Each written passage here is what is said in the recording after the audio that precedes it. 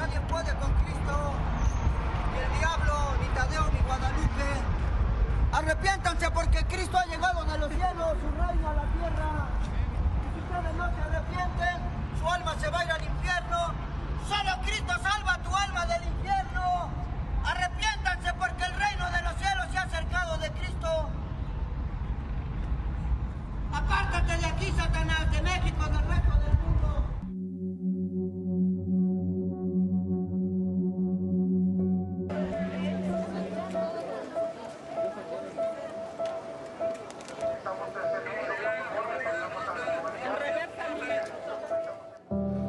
Regresaron las peores imágenes y lo hicieron en el peor momento.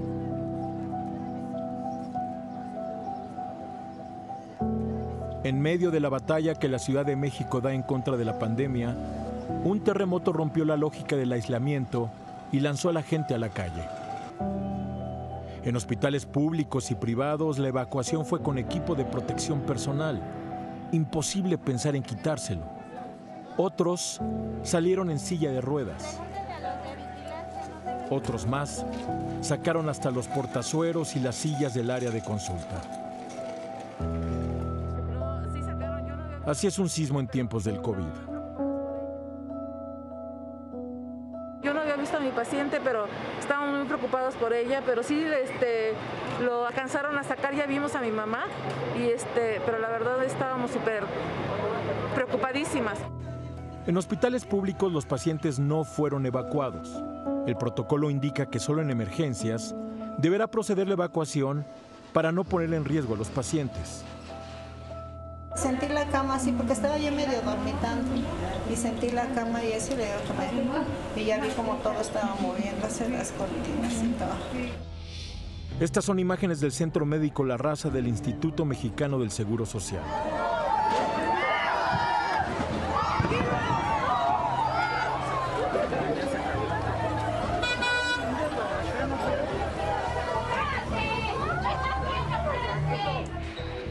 Pesar de que sus torres fueron sacudidas, el complejo no registró daños.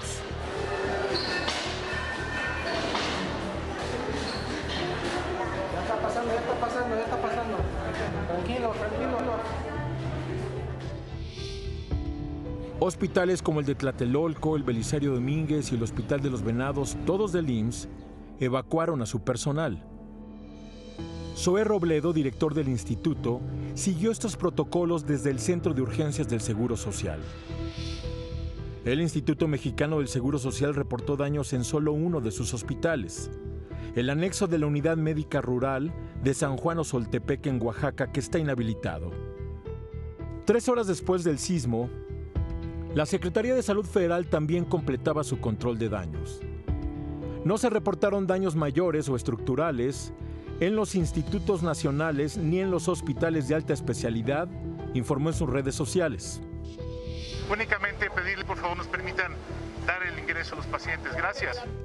Otros hospitales como este en la colonia Roma de la Ciudad de México evacuó a su personal y a sus pacientes. Sacaron lo que pudieron, nerviosismo y miedo incluidos. Porque así es un terremoto en tiempos del coronavirus, en tiempos en los que hasta un abrazo está prohibido.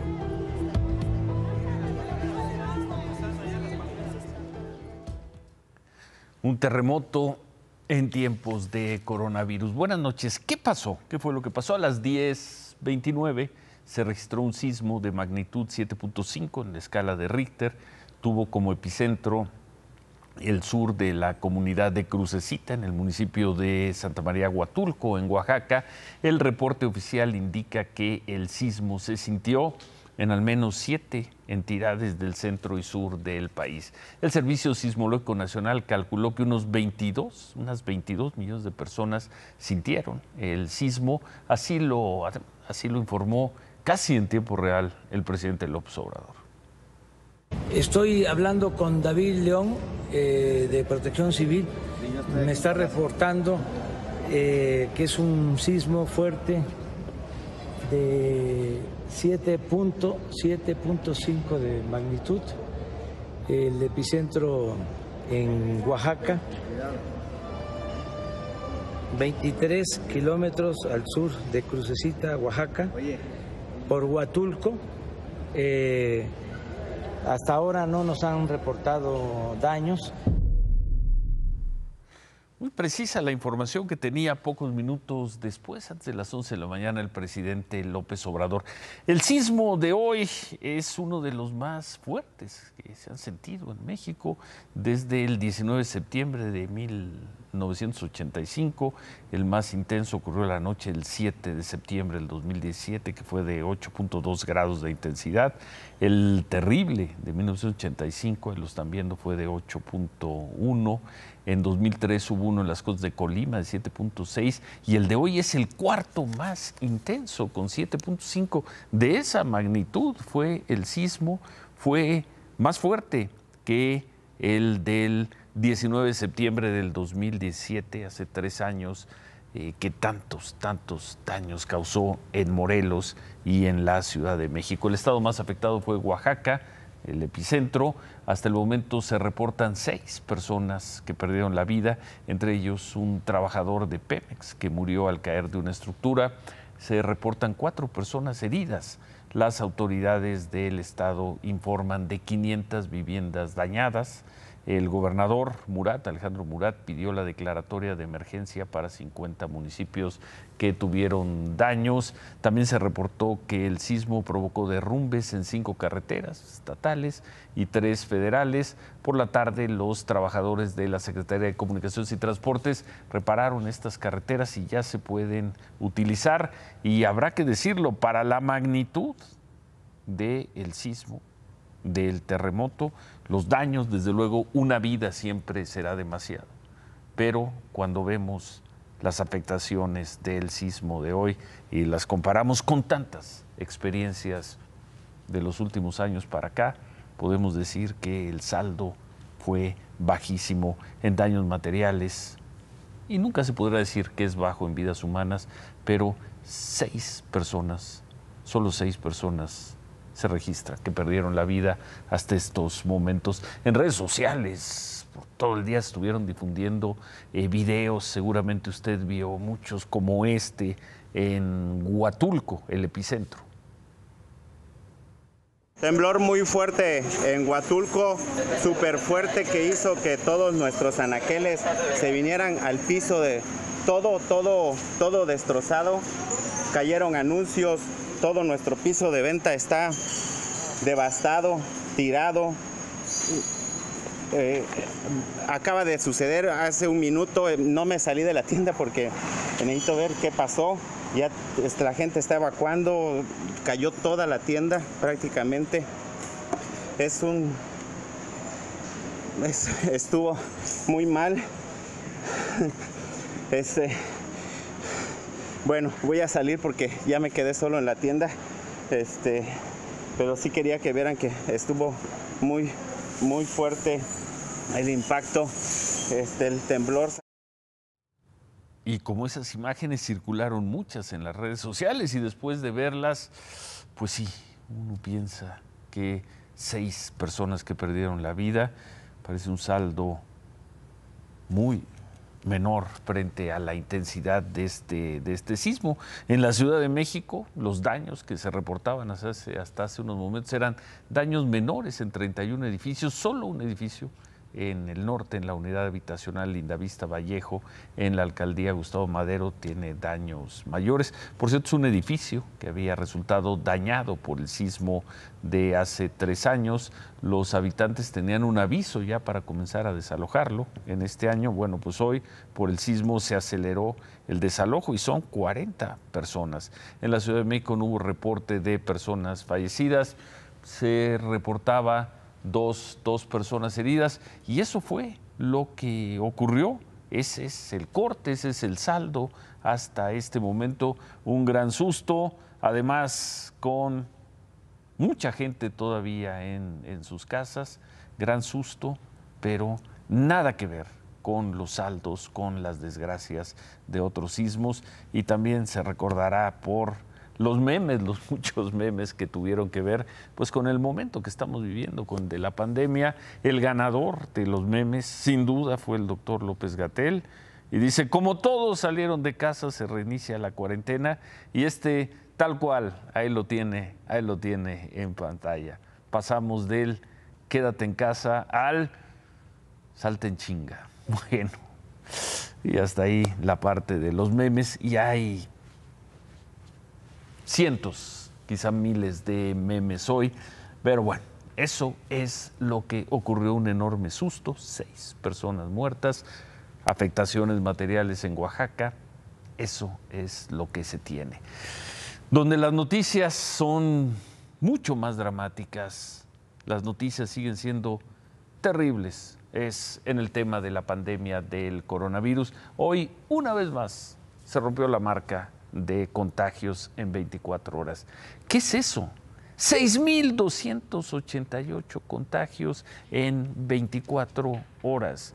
Se nos dijo que en 1.800 contagios por día era el pico de la pandemia y estamos ciento y tantos días después en 6.288 contagios en un día. Ahí tienen la cifra, las barras blancas que están del lado izquierdo, es cuando se dijo que iba a ser el pico, se promediaba el pico de la pandemia en mayo, se promediaban 1.830 casos. y la famosa curva sigue subiendo. Dicen las autoridades que se aplana, pues bueno, con 6.288 contagios hoy no vemos qué es lo que se pueda aplanar. En cuanto a las personas que perdieron la vida, también queda para el registro por el sismo. Se reportan seis personas muertas por coronavirus, por COVID-19 en las últimas 24 horas, 793. 793, lo que deja el acumulado en 23.377 mexicanos que han muerto por coronavirus. Por cierto, hoy el subsecretario de Salud, Hugo López Gatel, dijo que más nos vale aprender a vivir con el virus y con las posibles olas de contagio por al menos por al menos este tiempo. Un escenario muy posible, muy posible es que la epidemia de COVID-19 esté teniendo eh, nuevas oleadas o nuevas eh, recaídas en términos epidémicos, en donde volvamos a tener periodos de transmisión del virus SARS-CoV-2 causante de COVID. Como esto va a estar ocurriendo por un tiempo hasta hoy impredecible, pero que podría extenderse al menos por un par de años, dos o tres años, la preparación ahora es para vivir y convivir con un agente infeccioso como es el virus SARS-CoV-2 que causa COVID-19. Y bueno, luego también, porque hay tantos memes, el pico de contagios se va a alcanzar en mayo, la pandemia estará entrando a su final en junio, todo lo que ha dicho en estos ciento y tantos días el doctor López Gatel, y hoy nos dice, preparémonos para dos o tres años, para vivir con este virus, dos o tres años. ¿Cómo están las cifras? Vamos a ver las cifras hoy en el, en el mundo, acercándose el, el mundo a los 10, bueno, acercándose, perfilándose a los 10 millones de contagios y al medio millón de muertes.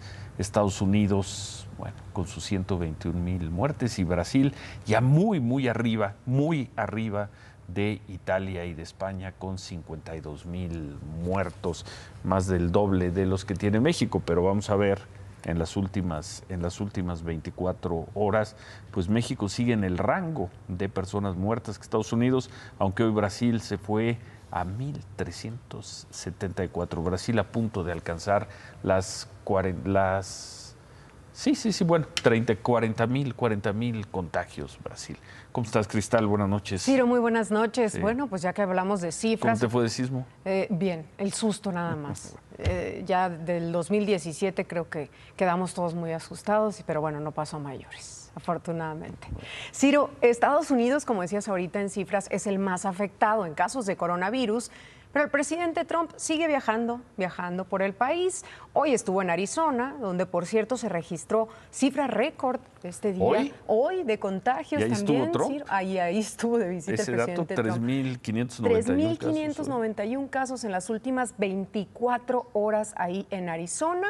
una, uno de los estados que ha, pues, que ha, ha presentado una tendencia a la alta, en casos Texas, eh, ¿Y esas imágenes son de qué? ¿De un mitin? Este fue un mitin ahí en Arizona, en la ciudad de Phoenix. Estuvo Trump haciendo otro acto de campaña. Y otra vez sin cubrebocas. Bueno, ahí esas dos muchachas traen cubrebocas. Sin pero la mayor parte de la gente, nada. Ahí se reunió con estos jóvenes en una iglesia, con jóvenes republicanos al igual que el sábado en Tulsa, hoy no y les ahí no hay ni sana distancia ni cubrebocas y ya vimos cómo están creciendo los contagios ahí, en ese estado, en Arizona. Tanto al presidente como a sus simpatizantes no les importó y así se presentaron a este meeting ahí en Phoenix, en Arizona.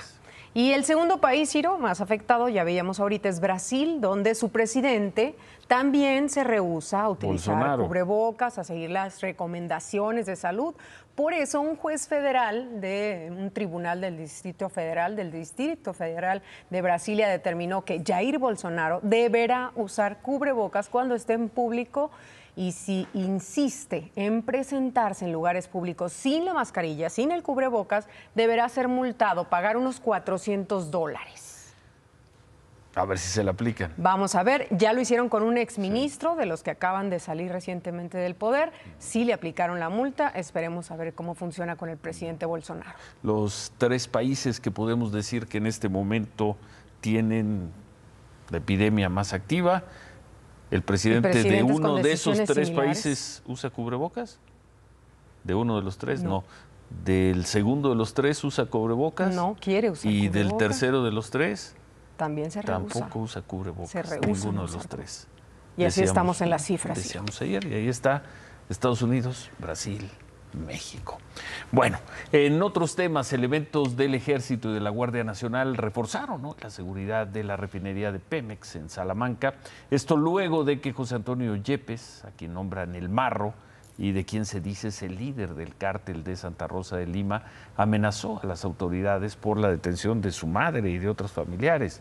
Desde anoche, eh, elementos, elementos mantienen el control de los siete accesos de la Marina. Solo por una puerta, solo por una puerta se permite la entrada a los trabajadores. Eh, también están haciendo rondines, revisando autos sospechosos. Los accesos se encuentran cercados, ahí los veíamos con vallas metálicas y las calles aledañas están cerradas. Se tomó en serio el Estado mexicano, el gobierno de Guanajuato, el gobierno federal, la amenaza del marro. Por cierto, otra refinería, la de Salina Cruz en Oaxaca, tuvo que parar actividades por causas del sismo y porque hubo un conato de incendio. Humberto, Humberto hizo un recorrido por las calles de Santa Rosa de Lima, allí en Villagrán, Guanajuato. Es la comunidad donde opera el marro. Ahí están las imágenes, la localidad parece tranquila, con actividades pues razonablemente normales, calles vacías, eso sí, mucha más presencia de elementos de seguridad pública de Guanajuato. Hace unos meses era imposible entrar aquí sin el permiso de la organización criminal y esas imágenes de Humberto Padget son de esta mañana mediodía. Así está Villagrán, Guanajuato, ciudad ocupada, pero parece, parece que los grupos criminales ya se fueron de ahí o al menos están totalmente agazapados. La Fiscalía de Guanajuato informó que fueron liberados 19 de los 26 integrantes del cártel Santa Rosa de Lima o de los supuestos integrantes de ese cártel detenidos en el operativo el sábado en Celaya. Estas personas estaban acusadas de eh, bloquear vialidades, de quemar autos para bloquear vialidades y además dañaron y quemaron negocios, trataron de evitar las detenciones. Siete de estas personas, siete son menores de edad. Van a continuar su proceso en libertad y bajo reservas de ley. Las únicas personas que siguen detenidas son la madre, la hermana y la prima del marro, además de una mujer y un hombre. A otras dos personas, otras dos personas se les mantiene detenidas, pero por otros delitos. Hasta esta noche la madre del marro, la señora María Ortiz, comparece en los juzgados del Poder Judicial esto es en Puentecillas, en Guanajuato. La seguridad del juzgado y del penal donde está detenida la señora, pues tuvo que ser, tuvo que ser reforzada. Ya vimos cómo reforzaron la refinería. tenían que haber hecho algo así con, con la cárcel, Cristal. Ciro, y anoche informamos aquí sobre el conflicto político y social que existe ahí en San Mateo del Mar, en Oaxaca que dejó 15 muertos en la comunidad de Huazantlán, quienes presuntamente habrían sido quemados vivos. Hoy los cuerpos de estas personas ya fueron entregados a sus familiares. Sin embargo, pobladores de la comunidad aseguran que las amenazas contra ellos continúan por parte de este grupo indígena que quiere tomar el control del municipio. Eh, ayer que fuimos a recoger, a, identificar a nuestros familiares, recibimos amenazas, a mí me estaban lanzando piedras diciéndome que me saliera del lugar porque pues que yo no podía estar ahí. Al parecer fueron a amenazar a las rezadoras, a los señores que abren la iglesia, a los panteoneros de que no nos abran el panteón, la iglesia, porque ellos dicen que no hay muertos. Esta mañana el presidente López Obrador habló al respecto, dijo que el gobierno federal va a buscar intervenir para que exista diálogo entre estos dos grupos que se encuentran en conflicto ahí en San Mateo del Mar. Sin embargo, descartó que se use la fuerza pública.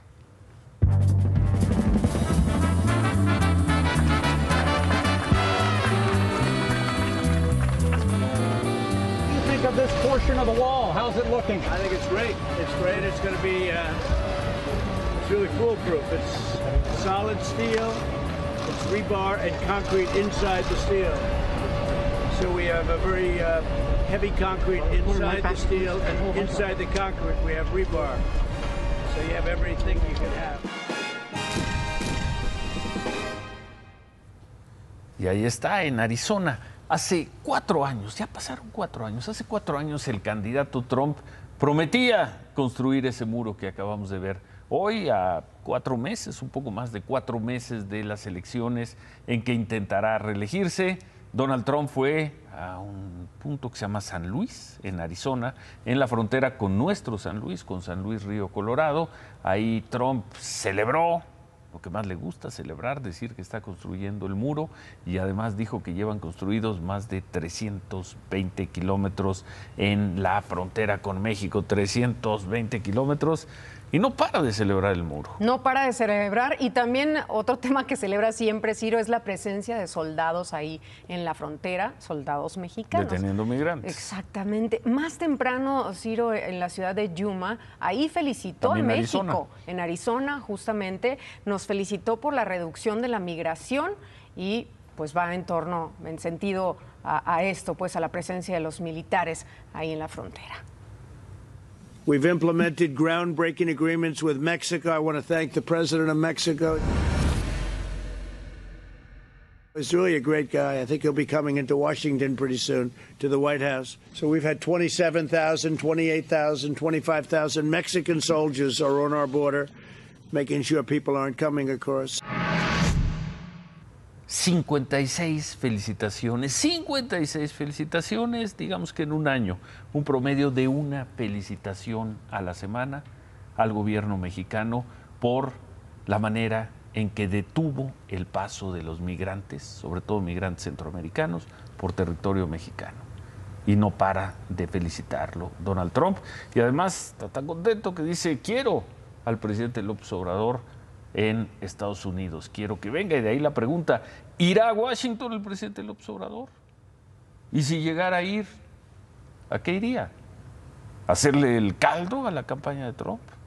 ¿A ser presentado ante la sociedad estadounidense como el presidente mexicano que más ha reprimido a los migrantes centroamericanos? Trump quiere a López Obrador en Washington. ¿Querrá eso también el presidente López Obrador? Por lo pronto, el canciller Marcelo Brard afirmó que, eso lo dijo hoy, que no hay nada establecido, nada firme sobre esa eventual reunión. Bueno, hablando del presidente López Obrador, esta mañana dijo que vigilará otra vez, que va a vigilar las elecciones del próximo año, pero que lo hará como cualquier otro ciudadano. El presidente insiste en que él es cualquier otro ciudadano. Dijo que no se quiere pelear con los consejeros del INE. Ellos son los que eh, tienen esa encomienda, legalmente al INE le corresponde, pero el presidente de México puede opinar, es su compromiso. Entonces no sé por qué se molesta el presidente del INE. Todos debemos de ayudar, todos, todos, todos, todos, a denunciar si sabemos de un fraude. Todos debemos denunciar el fraude, incluido yo, dice el presidente López Obrador, porque soy un ciudadano, yo el presidente de la República. Eso no es lo que piensan los consejeros del INE. Por la mañana platicamos con el presidente con, del Instituto Nacional Electoral, con Lorenzo Córdoba, sobre pues, las declaraciones del presidente López Obrador. Esto nos dijo. El presidente no tiene vela en este entierro. Sí no debería ¿cómo tenerla. no? Pues, Él va todos a ser los- presidente de los mexicanos hasta 2024. Estas son elecciones intermedias. El presidente no debe intervenir y nosotros no trabajamos para que darle gusto a nadie, mucho menos a un gobernante. Queda esa frase. El presidente López Obrador no tiene vela en este entierro, no tiene vela en las elecciones del 2021. Lorenzo Córdoba nos dijo también que confía en la convicción democrática del presidente. Si alguien no acepta cuando pierde y acepta solo cuando se gana, pues estamos hablando de malos demócratas. No creo que sea el caso del presidente y creo que su ambición política más importante era llegar a la presidencia, ya la consiguió y bueno, pues ahora pues, respetará el sentido de los votos emanados en las urnas. Bueno, y además, poco poco después también se expresó otro consejero del INE, Ciro Murayama, él lo hizo a través de Twitter, dijo, si el presidente o su vocero reinciden en utilizar la mañanera para hablar de temas electorales, como ocurrió con el supuesto grupo ese de la BOA, serán acreedores a medidas cautelares por parte de la autoridad. Tweet del consejero Ciro Murayama, porque hoy la Comisión de Quejas del INE resolvió dos acusaciones, dos querellas presentadas por el PAN y el PRD contra el uso indebido de recursos públicos por parte del presidente y de su vocero Jesús Ramírez. En esta ocasión, la comisión decidió no imponerle medidas, medidas cautelares, como le dicen al presidente, pero le recordó al presidente y al vocero Jesús Ramírez que está prohibido utilizar o aprovechar los canales o vías oficiales de comunicación para introducir asuntos electorales. Ya hablábamos, Ciro, hace unos momentos de las declaraciones del subsecretario Hugo López Gatel de que tendremos que aprender a convivir con el coronavirus por unos dos o tres años aproximadamente. En esta nueva normalidad hay sectores productivos que ya están listos para reabrir sus puertas. Es el caso de los hoteles Camino Real. Camino Real Hotels, el grupo hotelero ícono de la hospitalidad mexicana, está listo para la nueva normalidad y brinda la más segura bienvenida a todos sus huéspedes. El grupo hotelero que encabeza Olegario Vázquez Aldir, director de Grupo Empresarial Ángeles, anunció el sello de garantía Real Clean, un programa que establece los protocolos y normas de seguridad e higiene en sus instalaciones. El programa integra elevados protocolos de desinfección, con equipos de nebulización para sanitización, así como el uso de productos con certificación internacional para desinfección de instalaciones hoteleras. En el caso de las habitaciones, cada una de ellas tendrá un sello en la puerta que indique que la misma ha sido tratada con los estándares de higiene y sanitización certificados. De esta forma, con el sello Real Clean, Camino Real Hotels contará con varias certificaciones para que sus huéspedes se sientan completamente seguros, entre ellas la certificación de grado hospitalario de su empresa hermana Grupo Ángeles Servicios de Salud. Además, se asignaron brigadas de control de cumplimiento de las normas para cada hotel. Como parte de este nuevo protocolo de operación, explicó Leandro Trejo, director general de Camino Real Hotels, los colaboradores portarán equipo sanitario como cubrebocas, guantes desechables, mascarilla quirúrgica, bata desechable y gel antibacterial para garantizar la seguridad de nuestros clientes. En el servicio de alimentos se contempla una nueva distribución de montaje en los centros de consumo, respetando la disposición oficial. Adicionalmente, un nuevo servicio de buffet con asistencia en línea caliente y barra fría con productos porcionados, presentados en contenedores cerrados. Los huéspedes y visitantes tendrán que seguir sencillas reglas para garantizar que su experiencia en las instalaciones sea segura. Entre ellas, pasar por un filtro sanitario, conservar la sana distancia, no saludar de mano a los colaboradores y llenar un formulario al registrarse. Bien, y mucha suerte a nuestros compañeros, Compañeros. son nuestros compañeros de Camino Real. No será fácil, Ciro, pero ahí estamos viendo todas las medidas que implementan para la salud, para nuestro bienestar, bien- beneficio de todos sus clientes también. Hace poco más de dos meses, hace algunas semanas, vimos aquí un video parecido que decía, el, esta vez el check-in es en tu casa. Claro. Viene de regreso Camino Real. Mucha suerte, mucha suerte con esta reapertura a nuestros compañeros. Por supuesto, un fuerte abrazo para ellos también. Gracias, muy Cristal. buenas noches. Gracias, gracias. Buenas noches. El gobierno de México informó que va con todo en contra de 43 empresas que emitían facturas falsas, facturas tramposas, las factureras las llaman.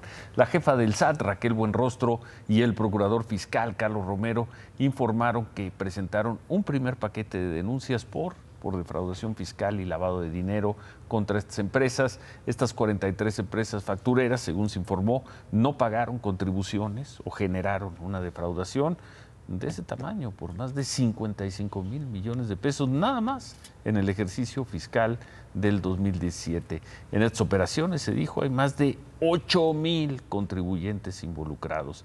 El gobierno federal quiere recuperar una buena parte de ese dinero, quiere recuperar pues unos 20 mil millones de pesos, nada más por concepto de impuesto sobre la renta.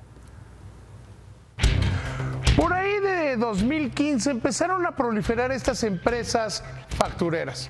Como operaban de una manera muy sencilla. Fingían operaciones, con eso se pagaban impuestos y el facturero y quien compraba la factura se repartían el dinero. Fue creciendo más o menos la comisión que cobraban era entre el 4 y 6%.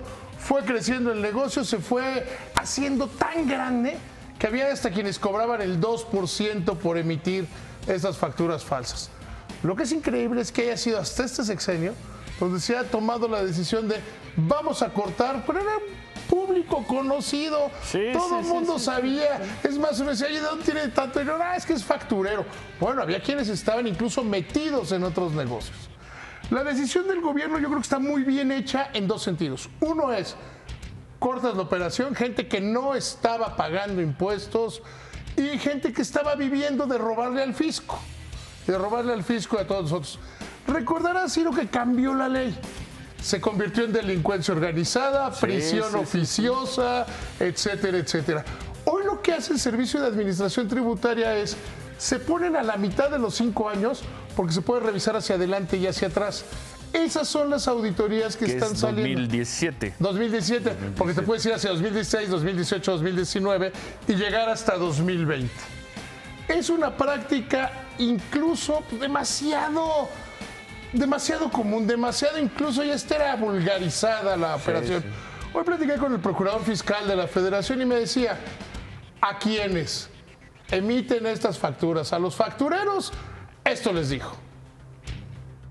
hay que dormir tranquilos, que si al final de cuentas siguen vendiendo facturas, el riesgo es muy alto y se van a topar con la autoridad y con una ley muy rígida que equipara a las factureras con delincuencia organizada, que da prisión preventiva oficiosa y cárcel hasta por 16 años. La gente que compró facturas, que regularicen su situación fiscal. El comprar facturas tiene un riesgo y si la compras en 2020 es cárcel. no solo muy, van, muy bien, ¿no? No solo Muy van a llegar bueno, notificaciones, o sea, bueno. al que metió las facturas, ese sí ya van encima de él. Le van a dar el beneficio de la duda al que compraba las facturas. Van a llegar notificaciones masivas a todo aquel que le encuentren alguna factura de estas.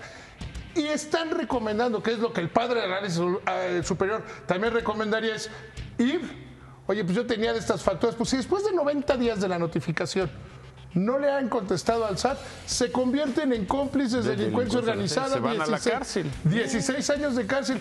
Es una gran estrategia que hay quienes muy equivocadamente la han confundido con terrorismo fiscal. Terrorismo fiscal es no pagar los impuestos, simular con operaciones indebidas. Creo yo que es de las muy buenas que está haciendo este gobierno, porque hay que destacar que este grupo es el presidente, la jefa del SAT y el procurador fiscal, directamente los tres. ¿eh? Remátala, David. mantener cerrada la economía es condenar de una manera indignante, inaceptable, a los más pobres a ser más pobres y que quienes tienen privilegios los puedan mantener. Pero ya viste cómo están los contagios. Bueno, adiós, adiós, adiós, David. Javier. Buena tarde de los mexicanos en Europa. Ciro, veamos esta jugada. Parece gol olímpico. ¿Quién aparece? El Chucky Lozano. Seis minutos en la cancha y después de la pausa vemos en qué terminó la acción. Regresamos con eso. Bueno, volvemos. Vamos a ver si metió gol el Chucky Lozano. Y también en medio del temblor, de los muertos, de las cifras terribles de contagio, la mujer de las confianzas del presidente López Obrador dijo hoy que el secretario de Salud y el titular del INSABI son, son ineptos. Volvemos con eso. Nos vamos, pero antes revelador y muy noticioso lo que dijo hoy la ex subsecretaria de Salud, a Cristina Laurel, la experimentada doctora secretaria de Salud en los buenos años del gobierno Andrés Manuel López Obrador en la Ciudad de México y todavía mujer de las confianzas del hoy presidente de la República. Bueno, la doctora Cristina Laurel le dijo hoy en entrevista a Joaquín López Dúrega que el secretario de Salud, Jorge Alcocer, ejerció una enorme presión para que ella renunciara a la subsecretaría y acusó al doctor Alcocer y también al titular de NINSABI, a Juan Ferrer, de ser ignorantes del servicio público.